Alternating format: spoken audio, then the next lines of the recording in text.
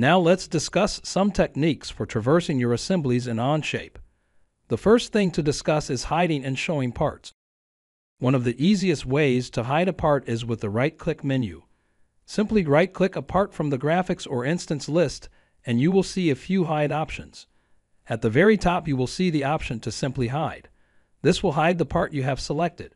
To show that part again, you can right-click the part from the instance list and choose Show, or you can click the eye symbol from the instance list. In addition to Hide, the right-click menu provides other useful hide options. For example, just below Hide is Hide Other Instances, which will hide all other parts except the part or parts you have right-clicked on. A great way to quickly be able to focus on a small piece of the assembly.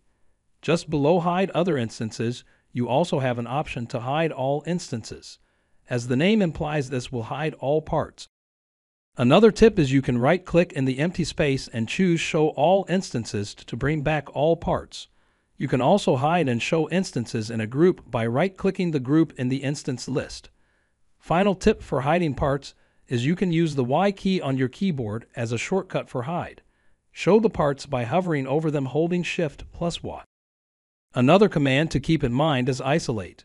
Isolate is very much like hide except parts are not hidden but rather shown in a translucent manner. Isolate also has a neat functionality that will allow you to expand on the selection with a slider. You will find Isolate in the right-click menu when right-clicking a part, parts, or a subassembly.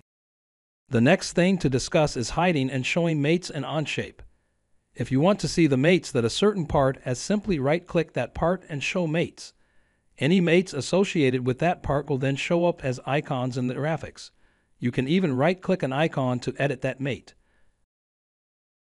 To hide the mates, simply right-click one of the mate icons and choose Hide All Mates. These hide and show techniques also apply to the group command.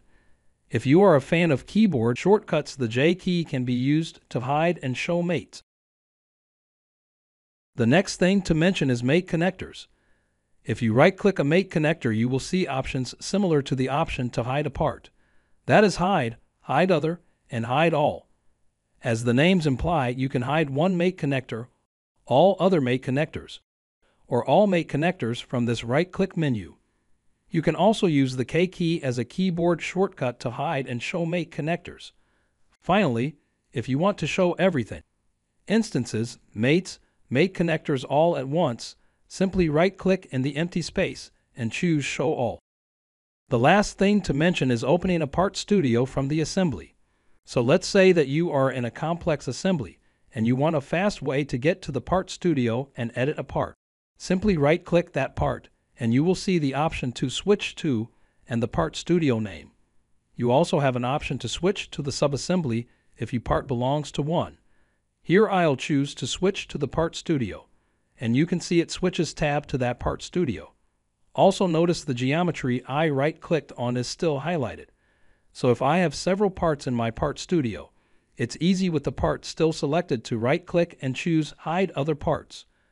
This is the fastest way to get from assembly to editing a part.